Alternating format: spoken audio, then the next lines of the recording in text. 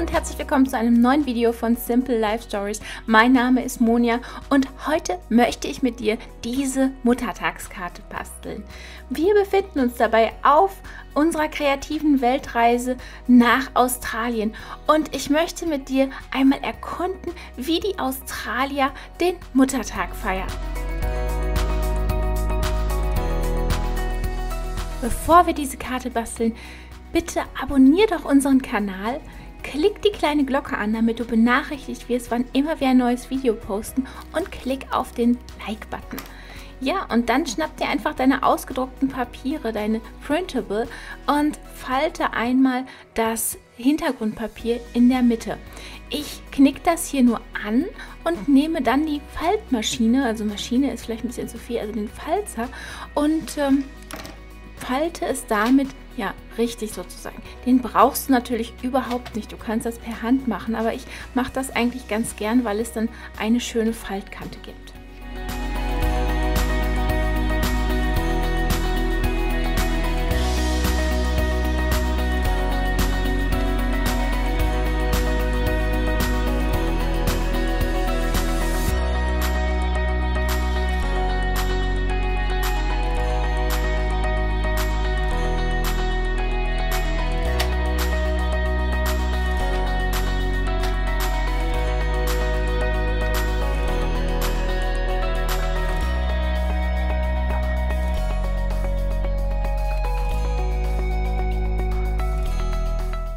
Der Rest der Erstellung dieser Karte ist schon fast ja, selbsterklärend. Du kannst dir einmal unser Video anschauen. Das ist allerdings ein englisches Video, wie ich diesen Karte, diese Vorlage mit Affinity Designer erstelle und kannst dir das auch erstellen mit dem Grafikset von Lisa Glanz. Ich lasse den Link dazu hier in der Infobox. Dann kannst du dir einmal anschauen, welche Grafiken da inklusive sind und was du damit machen kannst. Ich kann dir leider nicht hier die Grafikvorlage zur Verfügung stellen, weil dies einer richtigen kommerziellen Lizenz bedarf. Die habe ich leider nicht für dieses Grafikset. Deswegen zeige ich dir hier nur, wie ich das mache. Du kannst es aber natürlich erwerben und dann jederzeit nachbasteln. Die Karte muss natürlich auch nicht für den Muttertag sein. Ja? Du kannst was auch immer in deinen Text reinschreiben. Du kannst die Schriftart nutzen, die dir gefällt. Wie gesagt, ich verlinke auch das Video, so dass du das ganz einfach selbst erstellen kannst. Wie du hier schon sehen kannst, schneide ich erst einmal alle Elemente aus, die ich für mein Projekt benötige. Es können für dich natürlich ganz andere sein. In dem Grafikset sind auch noch ganz verschiedene Elemente enthalten, die du auf deinen Hintergrund packen und ausdrucken kannst. Das ist wirklich einfach zu erstellen. Also ich wiederhole mich hier, ne? Ich will einfach nur damit sagen, du kriegst das auch so hin, ganz ohne mich. Es ist gar keine große Aktion. Ja, auf jeden Fall schneide ich jetzt hier die Elemente aus. Ich lasse hier einen weißen Rahmen um, den Element, um die Elemente herum. Das tue ich ganz einfach, weil man das Ganze nicht so detailliert ausschneiden kann. Sehr, sehr fein hier gezeichnet.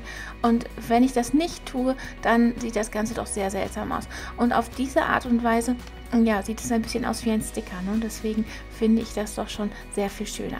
Ja, wir schneiden jetzt weiter alle Elemente aus und dann nutzen wir gleich diese 3D-Pads, um die einzelnen Elemente der Karte ein bisschen hervorzuheben.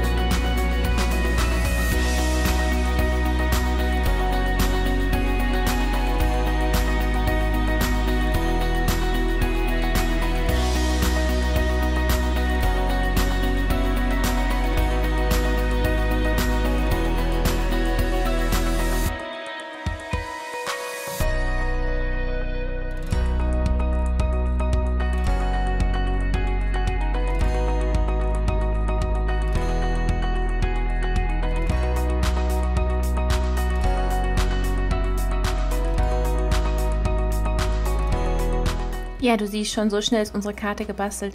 Und du kannst hier auch erkennen, dass ich einige 3D-Pads auf die einzelnen Elemente packe. Das ist nicht ganz unwichtig. Auf diese Weise kommt das Ganze schön raus und es ist nicht so wackelig ne? und, und fällt schnell ab. Deswegen gar nicht so unwichtig. Ja, ich hoffe, dir hat unser kleines Bastelprojekt gefallen und wenn dem so ist, dann freue ich mich natürlich darauf, dich im nächsten Video wieder begrüßen zu dürfen. Bis dahin, tschüss!